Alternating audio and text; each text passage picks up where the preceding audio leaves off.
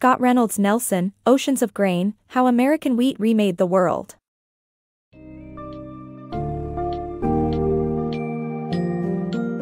Embark on a historical journey as Oceans of Grain How American Wheat Remade the World by Scott Reynolds Nelson. Explores the crucial role of wheat and grain trade in shaping global events, economies, and politics.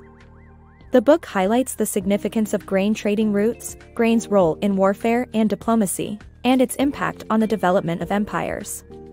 Discover the crucial role of the Bosporus Strait in grain transport, the rise and fall of once mighty agricultural empires, and the influence of new strains of American wheat that ushered in a seismic shift in global grain markets.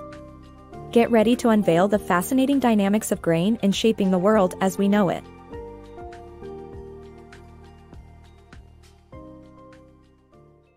Grain, the hidden force of history.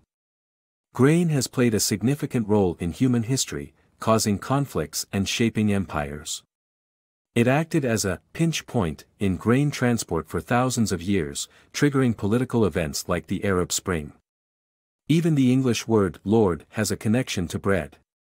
Grain stores acted as prototypes of banks, and restricted grain imports caused starvation and food riots in Germany's turnip winter during World War I, human civilization has been eating bread for over 14,000 years, and the grain trade played a role in the development of the U.S. interstate transportation system and the dwindling of Old World agricultural empires.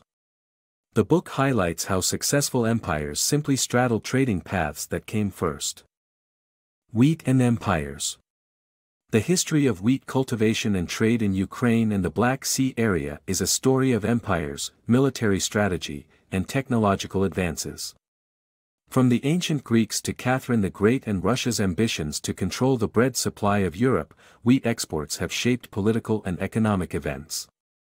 Although the flood of American wheat caused a crisis in the 19th century, Ukrainian farmers' specialized grains eventually made their way to the New World, providing wheat strains that could adapt to different climates. The story of wheat is the story of the rise and fall of empires and the foundations of modern agriculture. The role of cotton farming in the U.S. Civil War. Cotton farming in the South, fueled by slavery, becomes so prosperous that it triggers the Civil War. Additionally, wheat farming gradually replaced slavery in the North due to its feasibility.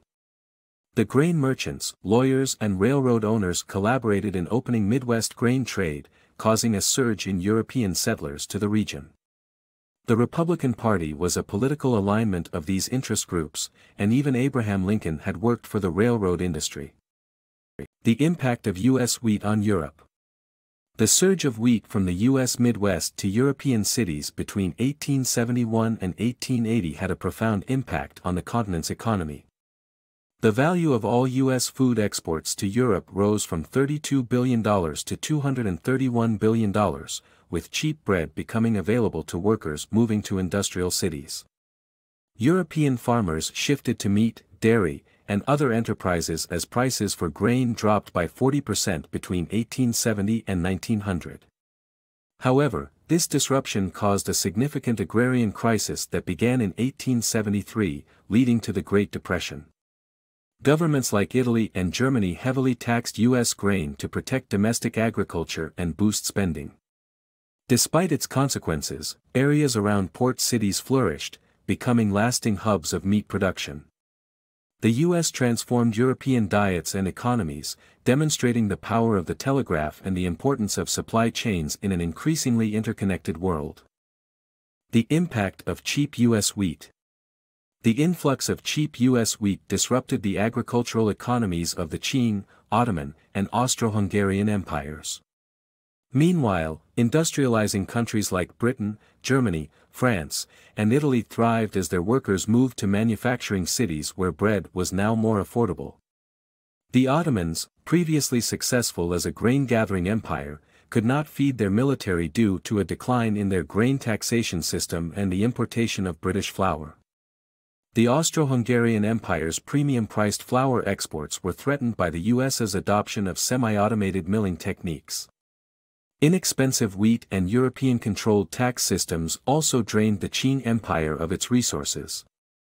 Russia's Railroad to Revolution Russia's plan to build the Trans-Siberian Railway as an alternative to its taxed grain exports was derailed and it lost access to the Port Arthur.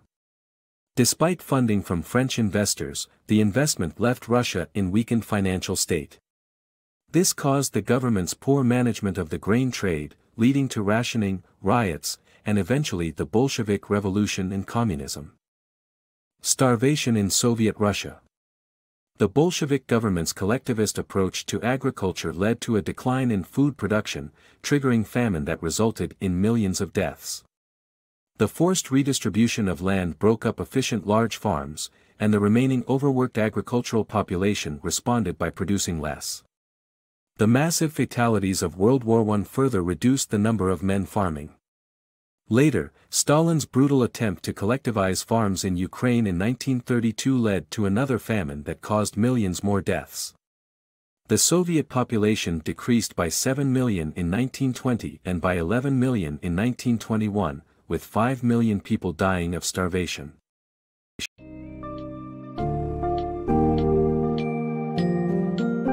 As we conclude our exploration through oceans of grain, it becomes clear that the importance of bread and grain throughout history extends far beyond the dinner table. The control of grain trading routes has been at the heart of power struggles, leading to wars and revolutions. In particular, the introduction of American wheat in the late 19th century drastically impacted global grain markets, causing land devaluation, economic crises, and the collapse of agricultural empires.